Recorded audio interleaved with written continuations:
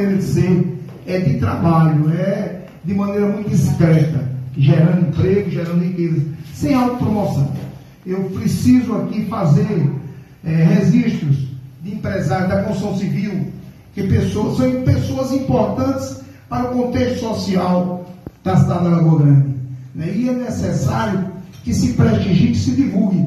Porque você sabe, Sato, você que está à frente dessa rádio, você sabe a dificuldade até da publicidade comercial. Porque o empresariado está muito sacrificado.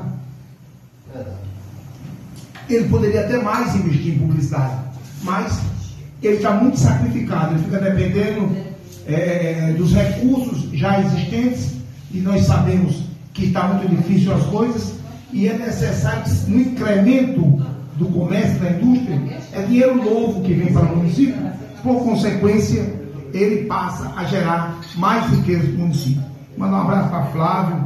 Flávio, que é essa pessoa maravilhosa, né, que é, tem uma, empresa de construção civil, que eu tenho muito carinho por ele. O Agnaldo Luiz na farmácia da, de São Luís Moda Grill, ou seja, também produtos de material de construção.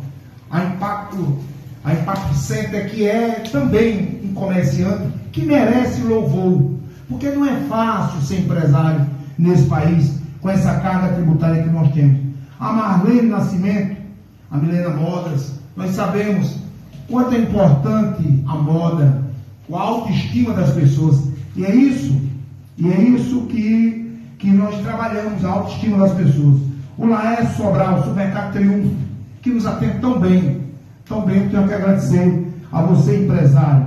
O Orlando Lins, que abastece os carros, que muitas das vezes participa da dificuldade, quer ser do funcionário, quer ser do empresariado, que muitas das vezes naquele momento não tem liquidez, mas ele passa a ser parte integrante daquele problema. Ele tem uma função social muito maior. Ele não é apenas vendedor de combustível.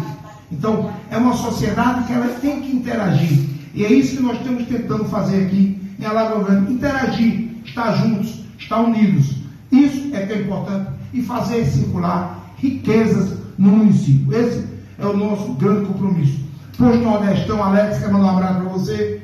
Alex, esse abnegado, esse empresário que acredita em Alagoa Grande, né, que tem o campo de futebol também, ou seja, é uma pessoa que acredita.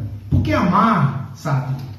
Amar é acreditar, amar é investir. Não adianta a gente falar em amor quando a gente compra em outros lugares. Não é verdade? Quando a gente vai investir em outros municípios, eu amo.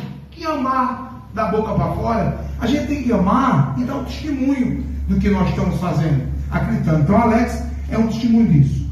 O Edgley Salles, Armazém Central, Central da Madeira. Meus respeitos, eu tenho muito respeito por você, querido.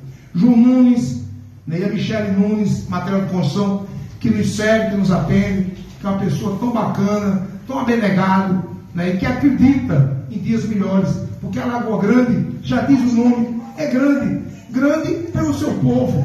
Nós estamos aqui porque fomos bem recebidos, com muito carinho por todos.